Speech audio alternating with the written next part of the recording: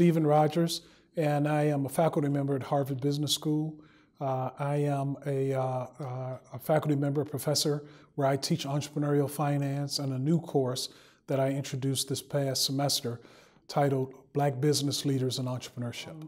It's a course that was created in response to a problem that we have at Harvard Business School and of every other graduate business school in America, and that is uh, the exclusion of black businessmen and women in the curriculum. Uh, at Harvard Business School, we are the primary producer of case studies that are sold throughout the world, teaching students about business challenges. In fact, we have produced at Harvard Business School approximately 10,000 case studies. Uh, my count shows that less than 70 of those case studies have black protagonists. Therefore, I'm an alum of Harvard Business School, I have an MBA. Uh, I found it to be an embarrassment uh, that we are not teaching our students anything about the brilliance of black businessmen and businesswomen. And in fact, what I say is we have almost a segregated curriculum where blacks are not included. And therefore, we have a big hole in our curriculum. It's like a donut with a big hole in it. And the hole is the absence of black people being taught um, about, uh, excuse me, black people being highlighted in terms of their brilliance as well as other people throughout the world. So the course was created to, to, to address that problem, and that is to write case studies and then to teach the subject matter of black business brilliance uh, to students um, who are ideally black as well as students of any other race or, or ethnicity. Um, the course is about black business people making business decisions. And uh, they include people like Lonnie Johnson, a NASA engineer who created the Super Soaker gun that they sold a billion, uh, uh, uh billion items uh, over the last few years. But it's chock full of case studies about great black businessmen and women who are not athletes and who are not entertainers. We do not talk about them. And so what we talk about are black businessmen and women who've embraced education, black businessmen and women who have business challenges such as how do they grow their firm, how do they uh, procure uh, venture capital, how do they uh, take their company public, um, and as well as our cases also have some black history uh, associated with the case. So a case that you read about uh, one of uh, Otis Gates, for example, will tell you about uh, the Pullman Porters, who was Otis Gates' father was a Pullman Porter. And Pullman Porters was one of the most distinguished jobs that black men could have in the 1920s. So we'll give the history of that. Uh, we just have a case about um, Herman Bulls. Herman graduated from West Point University, uh, West Point United States Military Academy. He taught there as well. That case will not only talk about Herman's decision to start his own real estate business, but it will also talk about the history of blacks at West Point, where the first black um, flipper, uh, Henry Flipper, um, was a former slave, and when he matriculated to West Point uh, during his four years there, no student ever spoke another word to him. Um, so we'll talk about uh, uh the history of blacks at West Point, also including the Buffalo Soldiers. See, you asked me a short question, I give you a long answer. Yeah, the way that it relates to African business leaders is the fact that uh, they will be included. They have, they were, I did not include them in my first round of case studies. I stayed stateside, but the next round of case studies will have African businessmen and women that are included as well. Um, and the, one of the reasons is because even the case studies at Harvard Business School and the case studies that have been published and taught, when they talk about a case study that has Africa, it's always the most negative aspects of Africa. Again, the focus will be on the uplifting, the celebrating, and the recognizing of great African businessmen and women. And what we won't do is we will not write case studies about people, uh, black African or African American uh, business leaders who have not given something back to the community. That's one of the keys, one of the ways in which we define success of our business leaders, and that is they must not only be successful monetary wise for themselves, but they must have something else that they can say about what they've done to uplift the black community in their countries. The other way that I would say this is important to Africa is because probably a tenth, excuse me, 25% of my students in my class are from the diaspora. They're from Africa. And uh, they're wonderful students, and they come from our business school, our uh, School of Politics, they come from our medical school, our engineering school. And so, um, with my students, we have, and I am actually training what I believe are the next generation of African students on the topic of having entrepreneurial success and giving back and uplifting your community. And I'm hopeful that those African students will come back to the continent and apply what they've learned. I've been teaching for 22 years, and this was a new course that I taught, and I was passionate about creating this course. And it turned out this is the best course I've ever taught in my life. And the reason was because it was all black students. I had such a great experience teaching brilliant black, young black men and women about brilliant black men and women. And it was beyond what I ever expected. And um, I'll teach it again uh, next semester. I don't know if I'll have the same experience, but that's fine. I've had that great experience one. It's like having that first high and then trying to uh, re experience it. But it was a fascinating experience. And I'm not one who believes that in order to be successful, you have to have white people as part of a thing. That I, it doesn't bother me whatsoever if I never have uh, other, uh, any students other than black students. I'm perfectly happy with that. I reimagine Africa as a continent that flourishes, that flourishes like I envision this particular country here that we're in today, and that is Ghana. Ghana has had independence for 60 years. And I think it's had its longest. It's the country that has the longest independence out of all the other countries uh, within Africa, other than Ethiopia. But I see Ghana on a path of great rebirth, just 60 years old, and look what has happened in this country. I envision that happening throughout the entire continent of Africa. That is governed by blacks, for blacks, and that Africa's wealth will be created uh, probably with the assistance of non blacks, but blacks will control everything. It is imperative that Africa, in my opinion, not let uh, white business people take this country over and be, uh, excuse me, take the continent over and basically be at the head of, of the economic ladder in every aspect. So, how do you do that? I'm an investor, I own property in the Bahamas, and it's a black country. And one of the things that I love about it is black people run the country. And they've developed the Bahamas, where I am. But the development has come from outside capital with the condition that you can build here, but you can't stay. That you can build here, and we want our own people to be employed. So if there are skill sets that we don't have, you can bring somebody from the outside, but they must train our people, and then your person must leave in three years. That's my vision of Africa, quite frankly. Um, I'm hopeful that that model will be instituted here because I, as I've driven around Ghana, one of the things that struck me was the beautiful coastal lines here. And the coastal lines are such that any place else in the world, you look at them and you say, that's just prime real estate. And what I know is going to happen and this is what I said to my girlfriend as we were driving. I said, 10 years from now, I believe that's going to be developed in beautiful condominiums, beautiful hotels.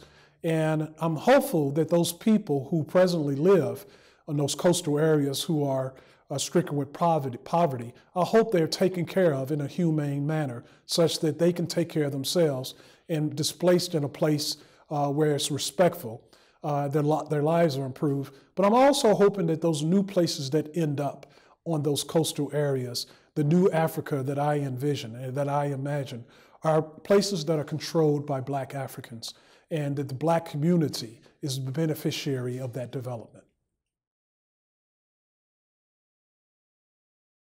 The three things that I need to achieve that objective are one, I need to be invited uh, to do so. I need to be invited to various countries throughout the continent of Africa. I need a, a support system of some kind that says, you know what, what you're doing is such that we want this to go throughout the entire continent. Um, oh, I'm a pretty doggone good professor. I won Professor of the Year over 25 times uh, and I'm a worldwide recognized professor. And one of my shames, one of my embarrassments, one of my disappointments is I have not been able to share that brilliance with African, the African community in the African continent. Um, so I'm hopeful of finding a sponsor that will enable me to travel throughout the continent of Africa as well as bring a contingent of other African Americans and other African brothers and sisters who are in Africa to help me with the teaching. Uh, the final thing that I need is um, I just need a chalkboard or a whiteboard to do the instructing. Africa in the future is to continue what I'm doing in terms of uh, adding Africans as protagonists in case studies, uh, teaching African students, and then being available uh, if I'm offered the opportunity or invited to come back and participate. I, I, would like to say one of the things, this has been one of the most gratifying experiences of my, of my life uh, visiting Ghana. And it's been gratifying in, in, in, the sense that one is I'm a very uh, black centric man. Uh, I'm known in the United States as a race man. And a race man, that phrase came about and was uh, coined by uh, people who said race people are people who are interested in the uplifting of their own race. So I'm a race man, and I happen to matriculate uh, to the best business school in the world, Harvard Business School, where I presently teach. I've been an entrepreneur, and so my uh, desire is to use all the gifts that God has given me to uplift black people in America, to uplift black people in Africa, and to uplift black, black people throughout the entire world. You know, entrepreneurship, one of the beauties of entrepreneurship, I like to say entrepreneurship is a synonym for freedom. Um, successful high growth entrepreneur uh, results in people having the opportunity to do something great. And that's something great is they have the opportunity to create jobs for other people. So when I look at countries like Ghana, when I look at continents like Africa, I say that they, it's imperative that the continent embraces uh, the importance of entrepreneurship, not just simply in what we call the lifestyle category of entrepreneurship. That's people who just work on their own in a mom and pop kind of business for the purpose of generating income. What we need in the continent of Africa, we need high growth entrepreneurs.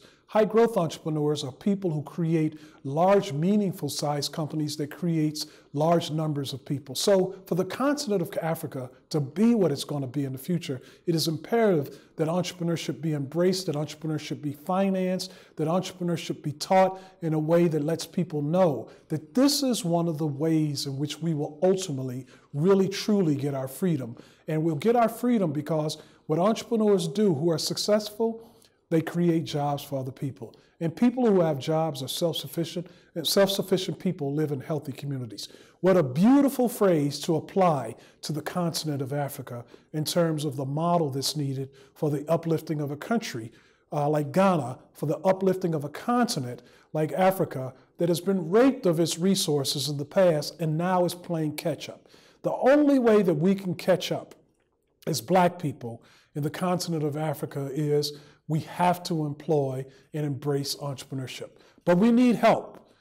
This continent didn't get into the problem that it has by itself. This continent got into the problem that it has because others came from outside of the continent and stole resources. Imagine what Africa could be today if those things never happened. We only had 60 years of independence of Ghana. But we're making great progress, and that great progress is coming uh, as a result of entrepreneurs who are uplifting themselves as well as uplifting their communities. Well, I would say that the primary thing that you can take away from our cases is what I taught today in my session, and that is that one must embrace, embrace the theory of strategy. Strategy means how are you different? To be successful as an entrepreneur, you must be different. One of the things that I experienced when I was here in Ghana, I visited the brothers and sisters over at the Arts Center, and they're chock full of independent uh, business people selling African garb as well as African mask and art. I went to one brother who was owner of a shop and I said, What is different about your shop than the shop that's right next to you? He paused, he thought about it, and he said, I don't know. So, one of the takeaways that I want you to, to have is it is imperative that people think strategically, which means they have to think about how they're different. That's one of the lessons that is in the, the, the foundation of the course that I teach with all black entrepreneurs. The second one is this that it's imperative that black people, be they in Ghana or in my country where I hail from, Guinea, or any other part of the African continent, that black people em- embrace finance. Our stereotype is that we don't like numbers. We must fight that stereotype.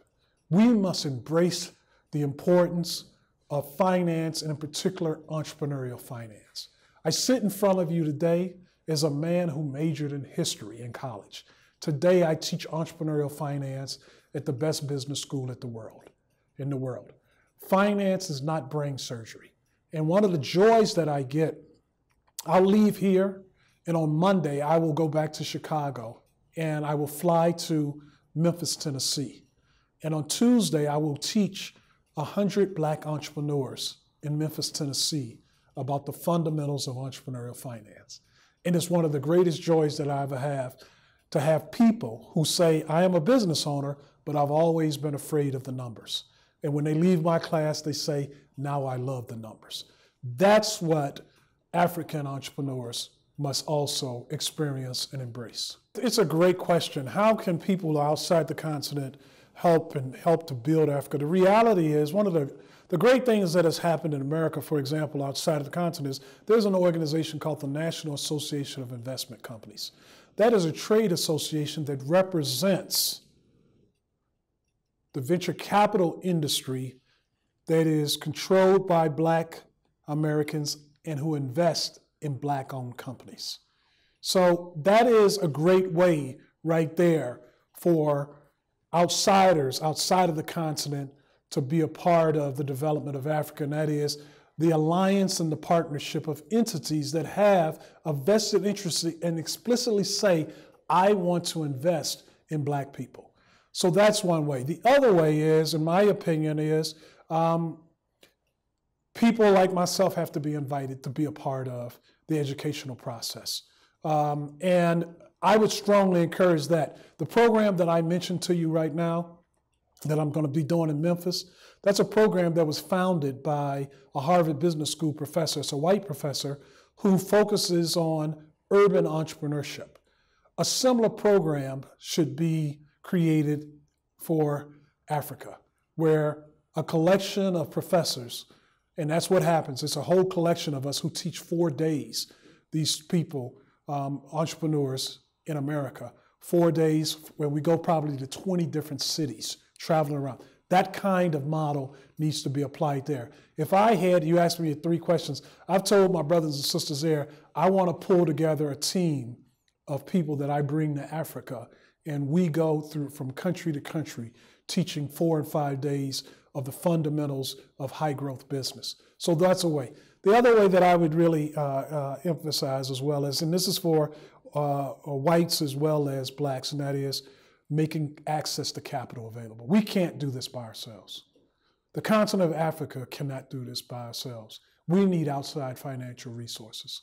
And it's not begging, it's asking for, for one degree, uh, one instance is asking for uh, people to invest in companies that can give market rate returns. And then in some instances, to some degree, it's asking for reparations. And I'm a strong advocate of that. Okay? Um, so those would be the ways in which I would say uh, that outsiders can uh, help the continent of Africa. Yeah. My primary objective is to travel the world. This is my first trip to the continent of Africa.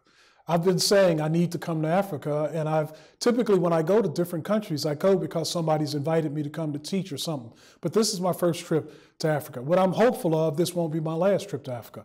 And what I'm hopeful of with that uh, continue future trips to Africa, that I'm constantly in the business of educating the next generation of Africans in the, Africans in the business of entrepreneurship, the fundamentals of entrepreneurship, the fundamentals of finance entrepreneurship. In America, at Harvard Business School, we have a program for business owners, and it's called OPM, Owners, President, and Managers. These are people who own companies that have at least $10 million of revenue. When I teach in that program, I teach finance, entrepreneurial finance. The African brothers and sisters who are in that program, and they typically, if there's a class of 180 students, 20 of them will be from the continent of Africa. But those 20 African students come down before I actually ever teach a word in the class, and they uh, surround me with joy and happiness to see a black face teaching, but also realizing that my interest is helping them learn the fundamentals of finance that enables them to be successful as businessmen and women. So my vision, my role in this is to be an instructor that helps people uh, develop the fundamentals of entrepreneurship and in particular, entrepreneurial finance.